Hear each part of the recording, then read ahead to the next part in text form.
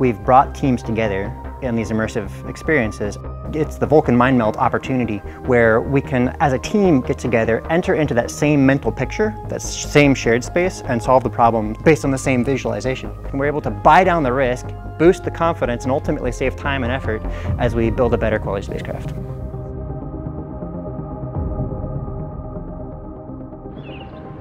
We're at the Johns Hopkins University Applied Physics Lab, filming an empty room.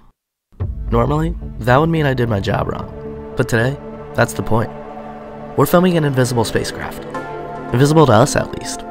Here's what we see. And here's what they see. They're looking at a mock-up of a spacecraft called Dragonfly. When completed, it will visit Titan, Saturn's largest moon. It looks cool, but this exercise isn't just for fun. They're designing it in augmented reality to build a better spacecraft than ever before, and build it faster, and save money in the process. How? Well, basically by avoiding mistakes before they're actually working on a multi-million dollar machine. I'm backing up like it's gonna hit me. What the AR allows us to do is have multiple users look at the model concurrently in a three-dimensional space. And you can walk around and poke your head inside and look at things, and you can do it with multiple users all at one time. So if I have an engineer in California that is maybe providing one of my instruments, working with a mechanical designer here in Maryland, maybe working with a scientist that's up in Boston, we can all be in the same virtual space, working at the same time.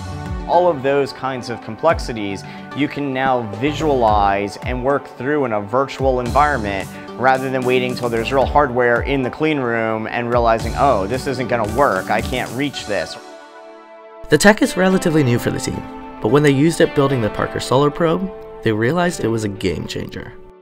There were a couple of assemblies on Parker Solar Probe where we brought the team together, and it was an incredibly vulnerable operation.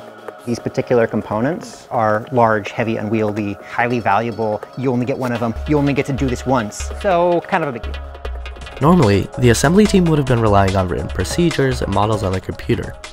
But with augmented reality, they had basically already done it over and over.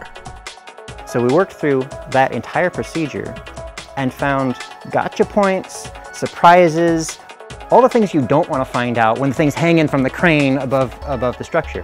While we still encountered things that were problematic, we had already found solutions to some of these things prior. And what they told us is like, hypothetically, we probably saved about 50% of our time and effort in the clean room with the thing hanging on the crane. So that was, that was incredible.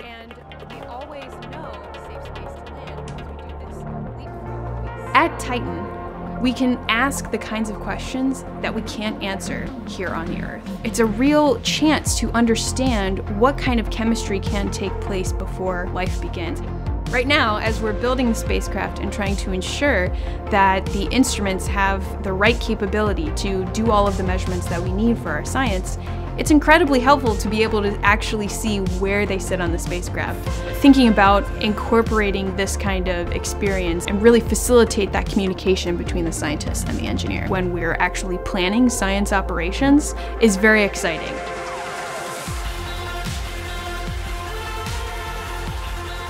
Thanks for watching.